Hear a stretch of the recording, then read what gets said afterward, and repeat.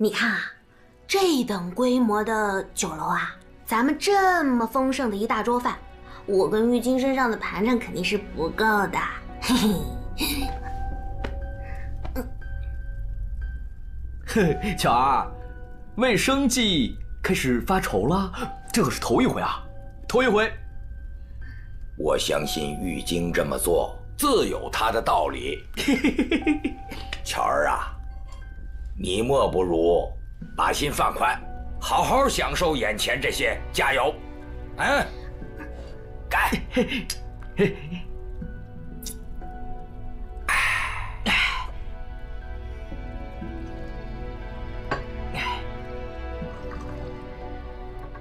长江绕郭。知鱼美，好，好竹连山绝笋香。嘿嘿，能在辽东吃上此等的南国美味，美哉，妙哉，妙！爷爷，吃饭就吃饭吧，你念什么诗啊？诗也不能当银子花。那你都吃了。我吃应该也没什么问题，是吧？吃。你们吃完了，自管走你们的。山人自有妙计。嘿嘿嘿。好。嗯，好好吃。爷爷，你也吃一个这个。嗯，吃，吃。嗯。嗯。爷爷，你吃这个，这个好好吃。亮哥，累吗？不累，志玲，你先上去啊，我把柴火放好。嗯。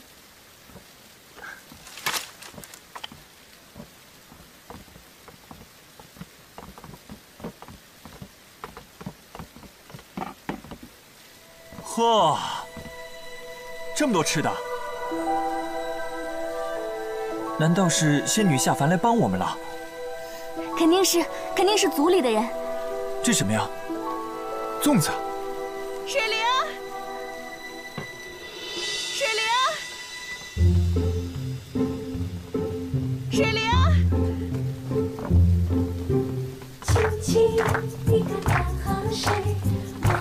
向南流。水灵，姐姐，真乖。欢迎回家，你看寨子里的人都来了。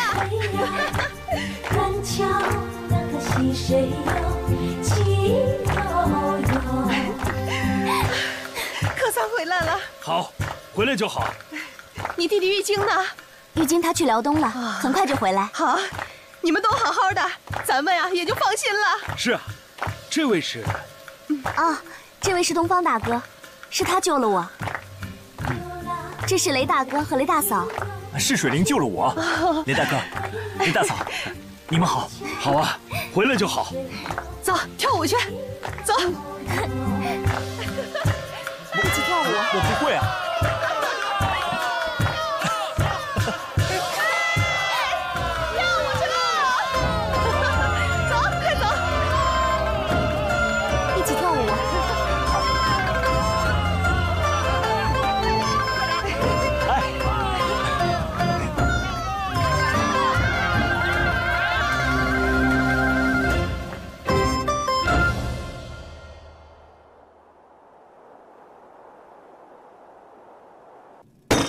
没钱，没钱吃什么饭？哼，吃什么饭？就凭这把剑，我想吃什么吃什么。想吃白食？你小子失心疯了吧？竟敢跑到凌雪阁来闹事！来人！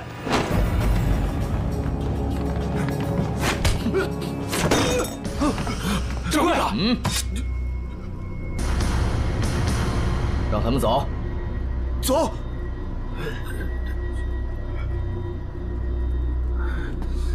滚！少侠，这顿饭我不收你钱了，一切好说。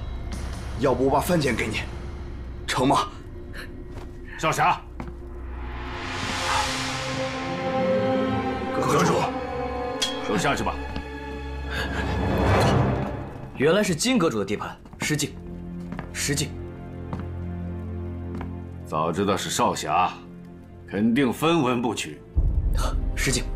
没想到这里的饭菜还挺合你们的口味。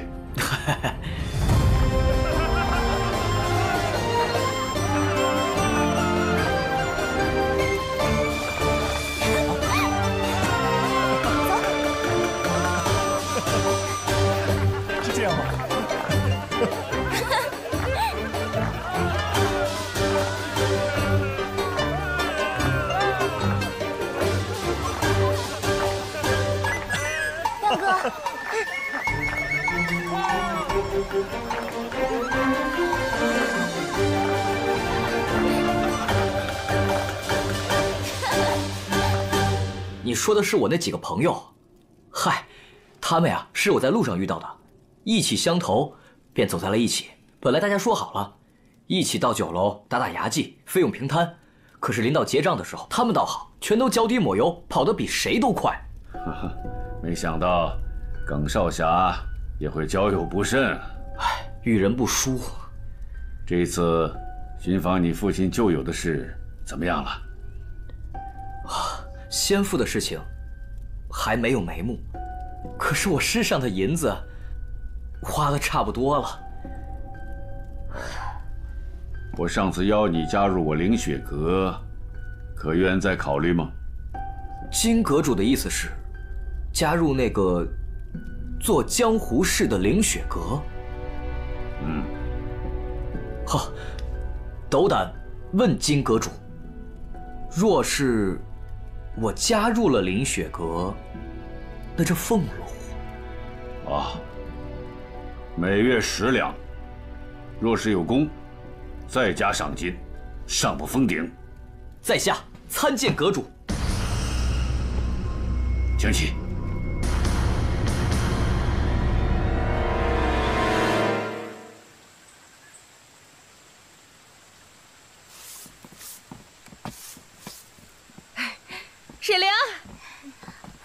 小福子，你来了。姐姐，起来这么早呢？啊，赶快进屋。哎呦，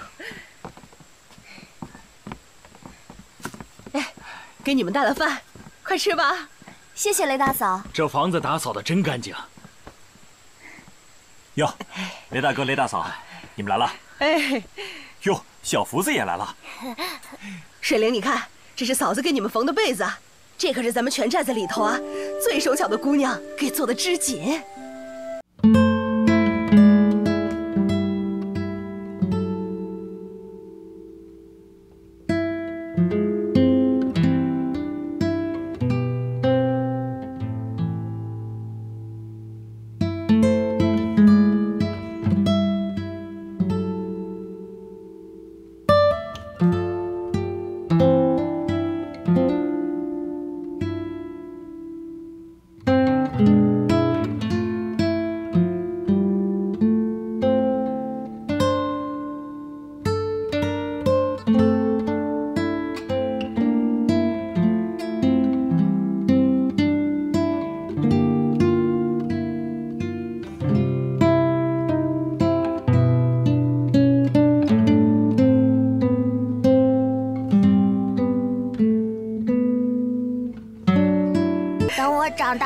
要娶你当媳妇。小福子，哎，这孩子讲什么鬼话呢？小福子，啊，你的水灵姐姐啊，等不及了，你慢慢长大吧，她很快啊就要跟我走喽。来吧，我要跟你比试。好，那就比试比试。哎呦，哎呀，哎呀，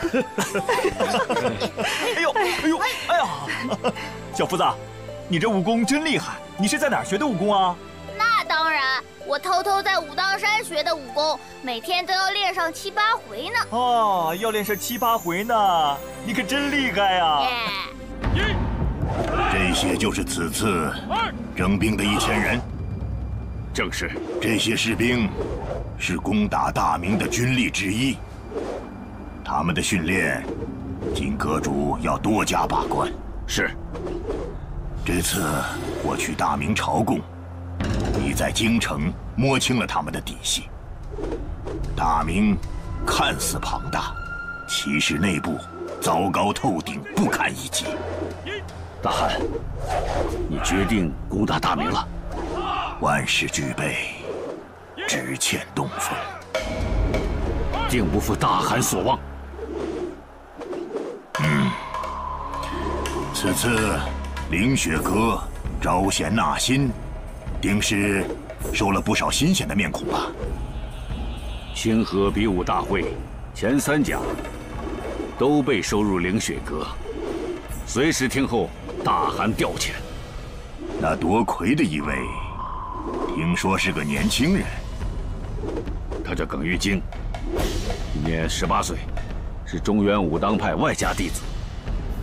知道了，我带回来的百人队伍就交给他训练吧。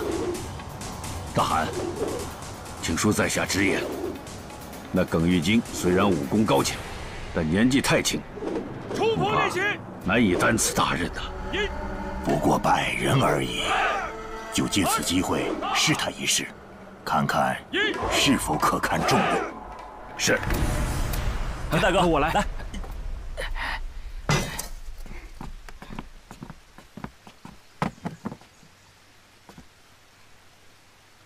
雷大哥，哎，这锅灶快打好了，就快好了。等晾干了，你就可以烧火做饭了。谢谢雷大哥。哎，太好了，终于可以开火了。雷大哥，给，以后啊。你们就等着过好日子吧。等再过阵子，生个一儿半女的，就更热闹了。金阁主，嗯，在下初入凌雪阁，资历尚浅，担此重任是否不大合适？啊，此次征兵共计千人，分为十营，每营百人。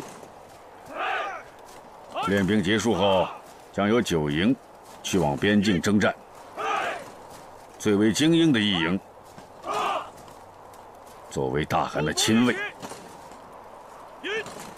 新兵的命运如何，就看他们训练的成果了。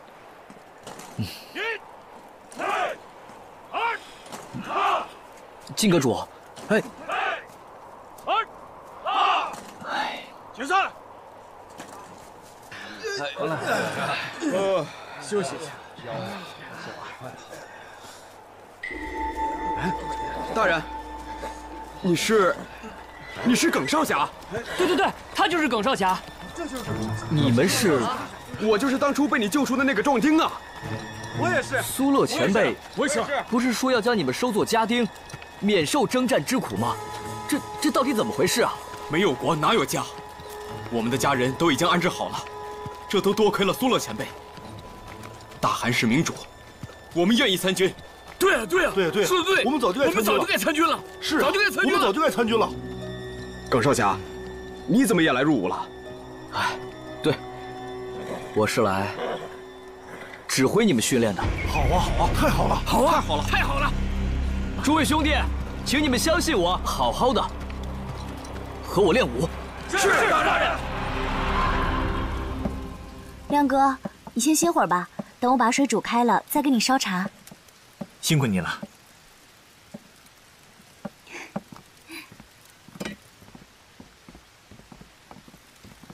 志良，土司少爷来了。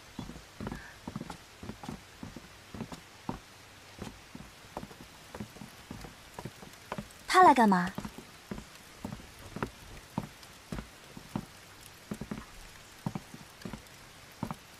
土司少爷，你来有何贵干？东方少侠、蓝姑娘，听说你们回来了，我特地来看看。土司少爷，我们怎敢劳你大驾？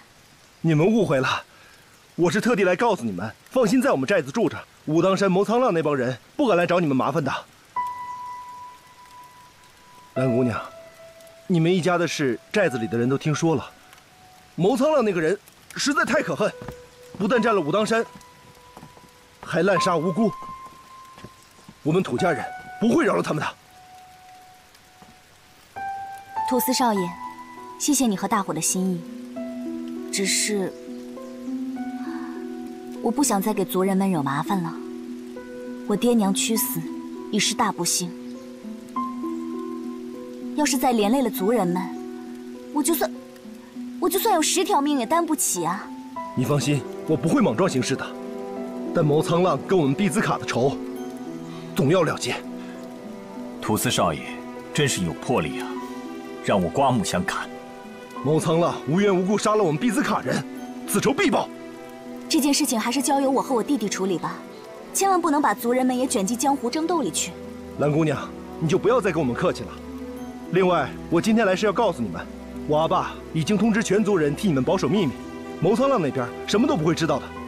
你们安心住下，需要什么尽管说。多谢土司少爷。兄弟，不错嘛，数月没见，真是大变样啊！嗨，你们汉人不是有一句“士别三日，当刮目相看”吗？啊，那我就先告辞了。嗯。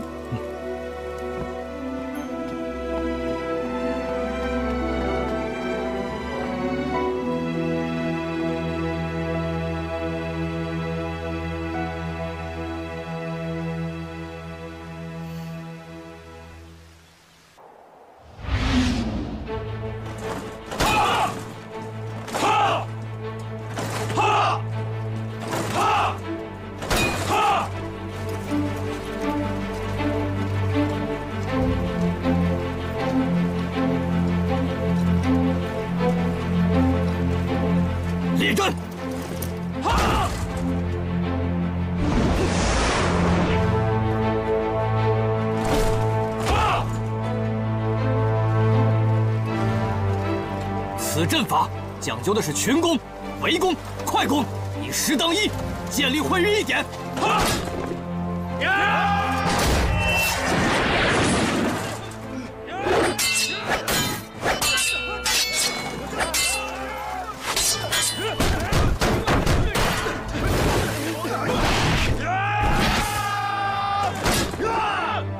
天下武功，无坚不摧，唯快不破。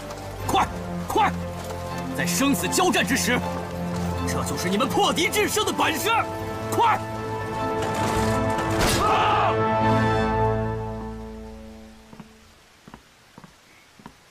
亮哥，啊，一会儿我们去集市上把这些首饰拿去卖了吧。我们换些鸡鸭给你补补。那怎么行？水灵，这首饰你留着，万万不可卖。首饰有什么要紧的？等我们有钱了再去买就是。哦，对了，玉晶交给我的这个东西，我也想拿去集市上看看。这是玉晶留给你的东西，更不能卖了。放心，我不是要拿去卖，我是要拿去集市上让懂行的人看看，看看究竟这是什么东西。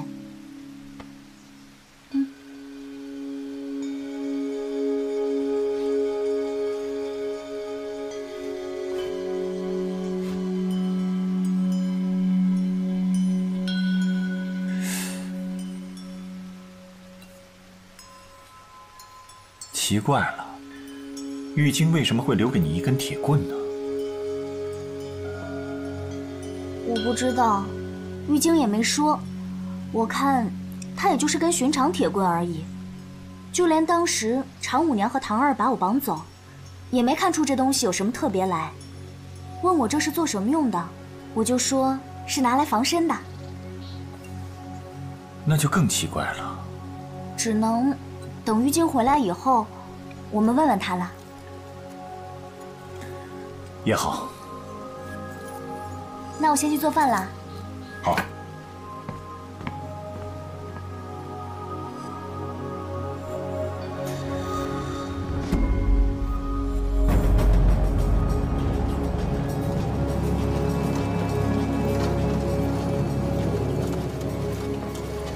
现在，我到各营去走一圈，如果哪个营能把我给拦下来，才有资格成为大汗的亲卫。还有，营帅不得出手。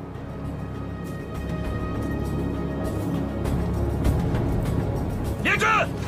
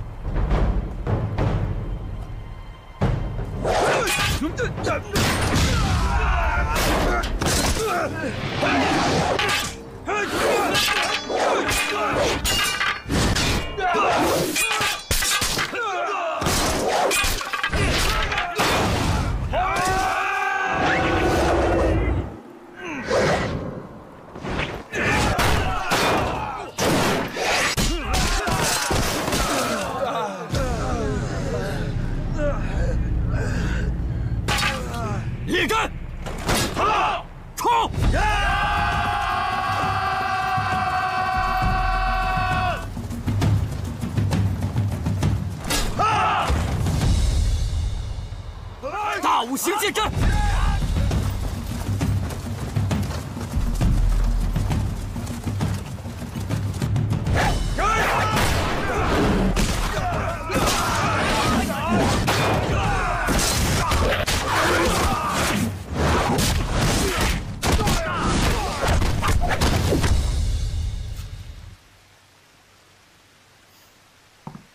亮哥，我收拾好了，我们走吧。别看了，走了。石亮，嗯，等等，这首饰你留着，还是卖了我这把剑吧。万万不可！你的剑你好生留着，我们还是卖首饰吧。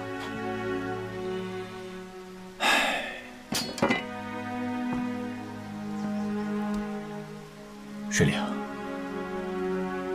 我的心你是知道的。今日卖了这宝剑，我再也不过问江湖恩怨。我们一起归隐山林，过安生日子，好不好？啊？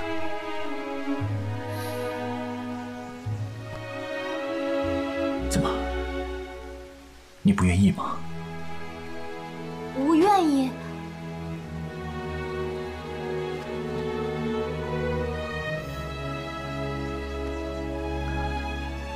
我愿意，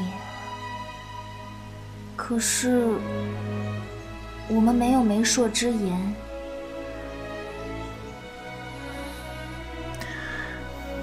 水灵，你放心，我东方亮一定要明媒正娶迎你进门。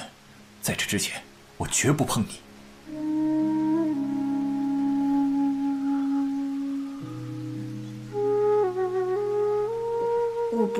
个意思。我知道，你们道家弟子规矩如山，理当守身如玉。我尊重你，一定说到做到。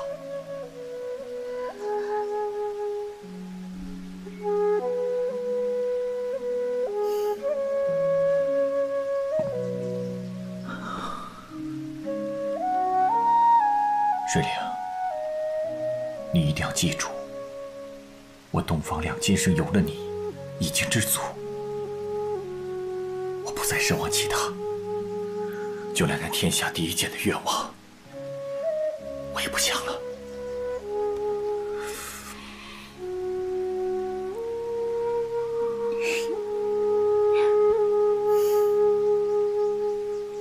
武当阵法的确精妙，但也有其弱点。如果布阵之时被对方尽收眼底，就很容易找出破绽，以此破阵。罗汉七杀阵。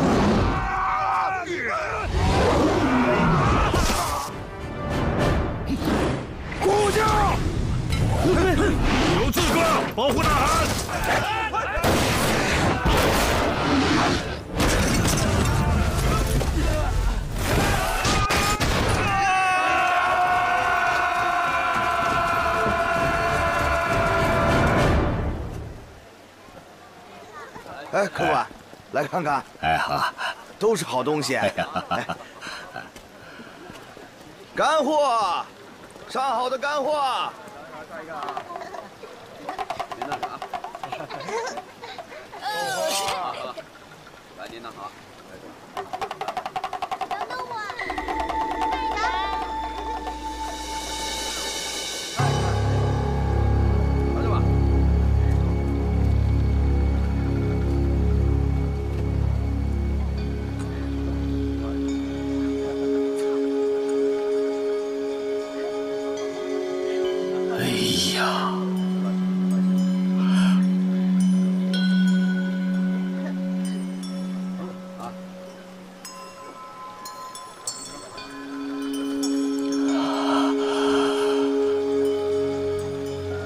人家，你可识得此物？哎，这是怎么卖啊？这个东西我们不卖。你们知道这是什么宝贝吗？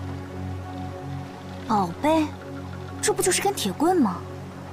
哎呀，老人家，请您指教。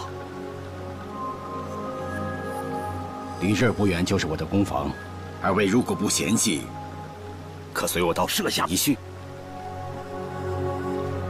去还是不去？去看看应该没什么事吧。老人家，请您带路吧。哎，哎呦，宝贝呀！哎，腊肉。哎呀，瞧我这记性！来，背上。哎，二位快点儿，请请请请请。啊。耿玉京，你给我出来！大可放心。耿玉京，出来！属下在。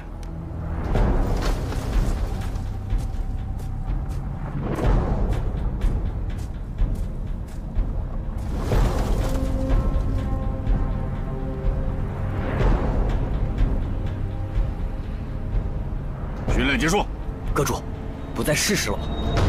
同样的指令，需要跟你说多少遍？是。收阵。营帅不能出手，你听明白没有？阁主明察，刚才属下并未出手影响阵法，属下方才眼看情势不利，只是一时心急使用了轻功，不料惊动了大汗和阁主，还请阁主降罪。传话下去，让金阁主先完成训练，赏罚之事。晚些时候再论。是。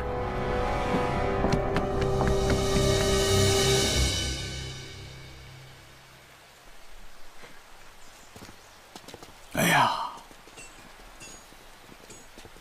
哎，这就是老朽的工坊啊！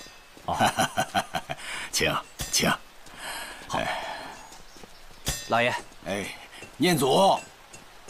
念祖，哎，来了！来来来，来了！哎，哎，这边请。哦，请。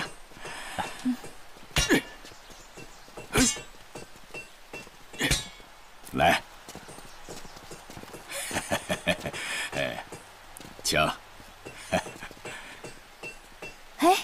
老人家，啊，你这儿怎么还摆个日晷啊？如今老朽这把年纪。现在时光，对我来说才是最珍贵的。嗯，现在时光，对我们也很重要啊。走，哎，二位请。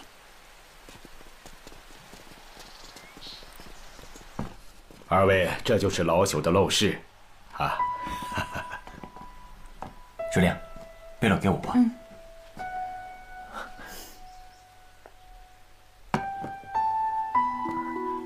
水灵，你看这么多图。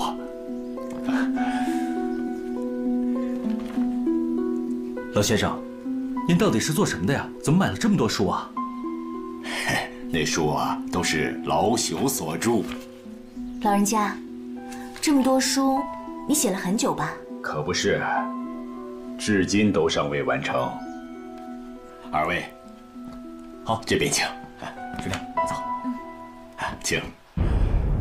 新兵的训练已经有一段时间了，这里天气寒冷，条件艰苦，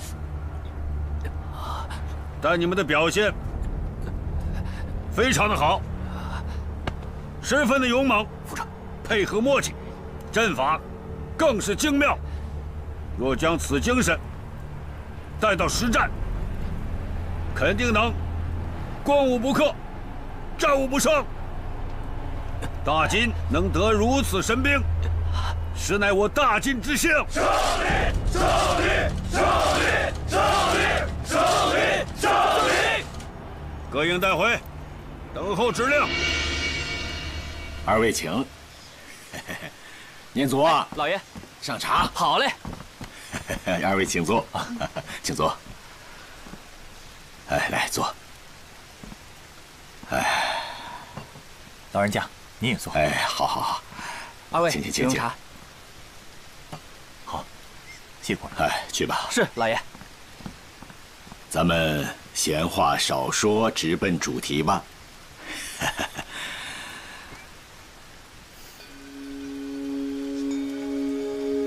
敢问二位，是从何处得到这个宝物啊？宝物？大宝物，稀世罕见呐！这是我弟弟给我的，只说它很重要，但具体是做什么的，我也不清楚。哎呀，老朽虽然年纪大了，还不至于老眼昏花。以我所见，此物乃上古云铁，是天外来客呀。上古云铁，嗯。此物年代久远，关于它的传说也是很离奇的。不过倒不难理解。有人说，它是当年玄武大帝在武当山练武所用之剑；也有人说，它是老子西出阳关之时所用之拐杖。总之，众说纷纭呐。老人家。那依您之所见呢？我看嘛，它就是块云铁。你们看，除护手有零星花纹外，其他部位如同未曾打造一般，毫无出彩之处。可实际上，他应当是当年武当山出城之时，一位在山上修炼的道长。意外所获的天外云铁。您说的这位道长，可是张三丰？哦，或许是吧。哎，这铁应该有两个呀，另一个呢？还有一个？没有了，就这一个。哦，此铁极为坚硬，且有两个。又互有磁力，此物乃天生剑形，可分开的部分呢，又刚好成为一剑一鞘，所以啊，很容易被当作是一把铸剑。可是它毕竟是一块云铁，过于坚硬，后虽经多年锻造，却也只能做出剑柄形。远远成不了宝剑呐！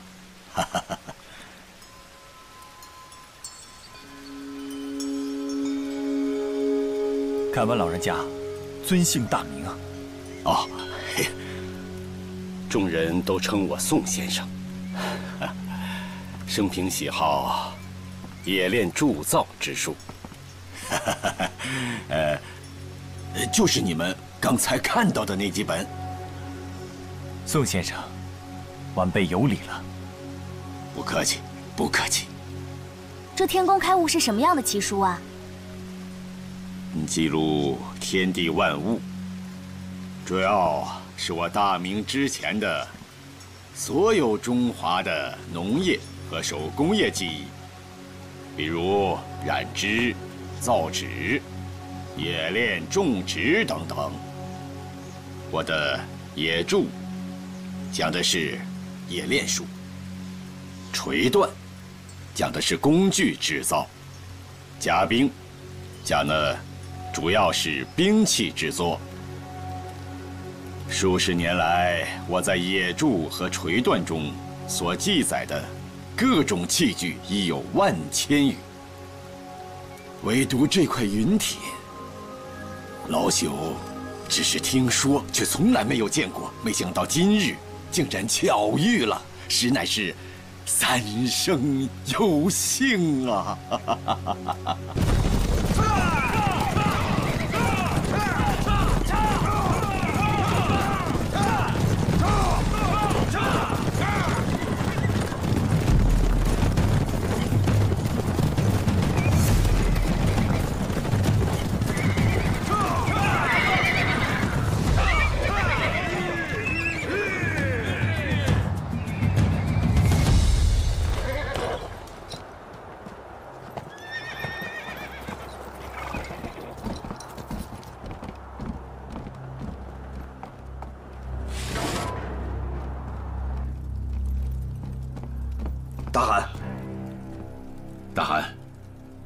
营营帅耿玉京，方才举止莽撞，惊扰了大汗，属下护驾不力，难辞其咎，甘愿领罚。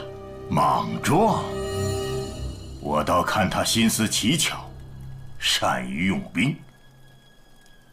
你就不要给他乱加罪名了。属下不敢。今天。他不过略施小计，就搅得你这个堂堂凌雪阁金阁主心神不宁，自乱阵脚，却还怪他莽撞。大汗息怒，属下之心是始终将大汗之安危置于首位。哼，哼，哈哈哈哈哈哈！啊，你的忠诚，本汗看的是一清二楚，不会怪罪于你。谢大汗。二位，你们打算作价几何？宋老先生，这个东西我们实在没法卖。对，宋先生，这个东西我们不卖。怎么？我告知了你们它的来历，你们就不舍得卖了？不是，宋老先生，您误会了。这云铁本是一件信物，嗯，我们把他带到集市上，原本是想打听他的来历。如今听您这么一说，我们才明白他来历非凡，而且将他托付给我们的人也是非常有深意的。嗯，这样吧，我请你们将此物交予我做个试验，一旦我完成了铸术，就立刻还给你们。这万万不可呀！哎。我帮你们将磁铁铸剑如何呀？宋先生，可您刚才说此云铁极为坚硬，无法锻造，怕是您本人也没什么好办法。敢问先生，那您又要如何铸剑呢？呃，老朽就是想试一试啊。现在这个宝物放在你们手里，它只是一块废铁，交于我，或许。就能化腐朽为神奇呀！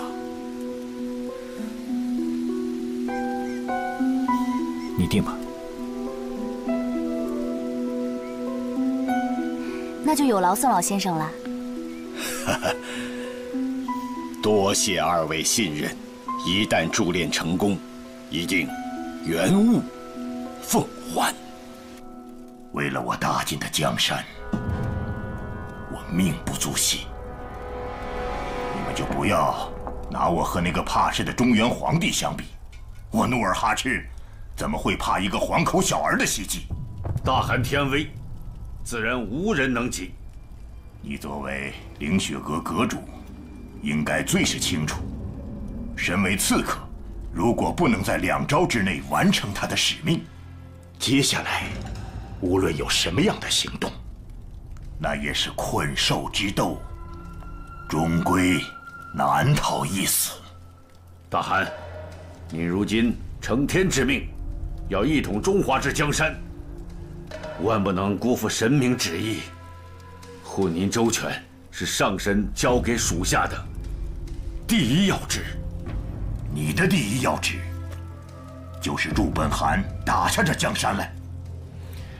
至于我的性命，如果上苍垂青我大金，自会保我无事。遵命。金阁主，你亲自去办，赏赐将士们，要他们牢牢记住，这是我大金的恩典。是，属下这就去办。